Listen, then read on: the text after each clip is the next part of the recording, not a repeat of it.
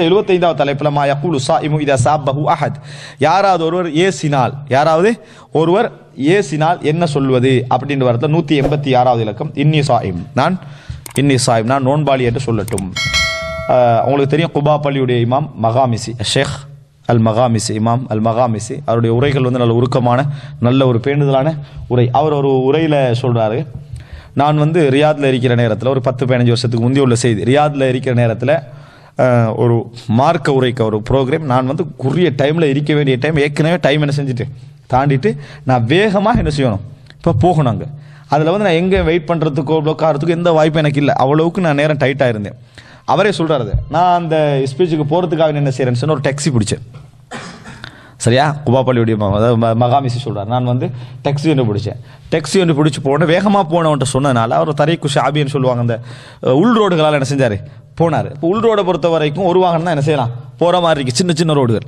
இந்த ரோடால் எப்படியோ அவர் அந்த இடத்துக்கு என்ன செய்கிறாரு வேகமாக கொண்டு போகிறார் நான் வந்து இப்போ அது போகணும் என்றதில் தான் என் சிந்தனை முழுசாக ஏன்னா நான் ஒரு தீனுடைய வேலை செய்ய போகிறேன் மார்க்கத்துக்குரிய வேலை செய்ய போகிறேன் அப்படி என்று அவர் சொல்கிறாரு அவர் எதுக்கு சொல்கிறாருன்னா ஒவ்வொரு மனிதனும் எப்பளையும் தனது சேவைகளையும் தனது வேலைகளையும் தனது இறையச்சத்தையும் அந்த விஷயத்தை தான் எப்போயும் முக்கியமாக மனுஷன் நினைப்பான்.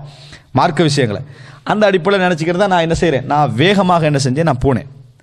அப்படி போகிற நேரத்தில் நீங்கள் அப்படி நான் போய் கிட்ட நிற்கிறேன் திடீர்னு ஒருத்தர் வந்து ஒரு முன்னுக்கால ஒரு டெக்ஸிக்கார் நிறுத்திட்டார். இவர் போகிறாரு ஒரு டெக்ஸியில் முன்னால் டெக்ஸிக்கார் என்ன செஞ்சிட்டாரு? வண்டியை நிறுத்திட்டு கடைக்கு போகிறாரு நடு ரோடில். நடு ரோடில் வண்டியை நிறுத்திட்டு என்ன செய்கிறாரு அவர் கடைக்குள்ளே போகிறாரு அப்போ வண்டியை நிறுத்திட்டு இப்படி இந்த கடைக்குள்ளே போனது இருக்குதே. இவருக்கு வந்து ஷேக் மகாமிசிக்கு வந்து ஒரு பெரிய ஒரு டிஸ்டர்பாக என்ன செய்யுது?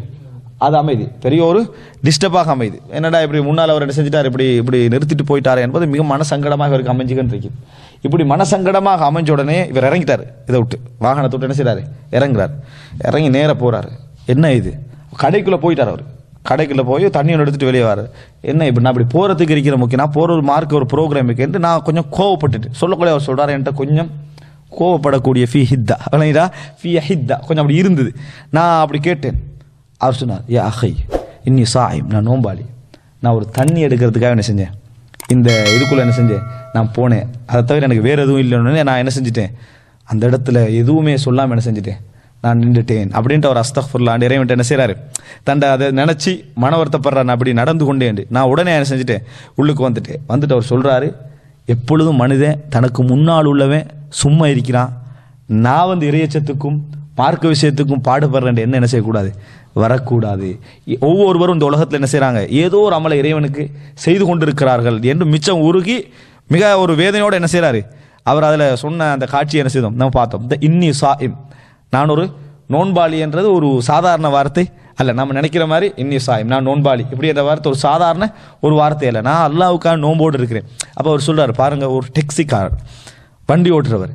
நான் வந்து ஒரு பெரிய ஒரு தரிசுக்கு நான் என்ன செய்கிறேன் போய் கண்டிக்கிறேன் எனக்கு என்னுடைய பிரயாணம் முக்கியமாக இருந்தது. ஆனால் அவருடைய வாழ்க்கையில் அவர் என்ன செய்கிறாரு அவர் ஒரு அமலை செய்து அவர் நோன்பு பிடிச்சி அதுக்கு போயிட்டு இருக்கிறார் நான் அவருக்கு எந்த ஒரு கவனத்தையும் என்ன செய்யலை.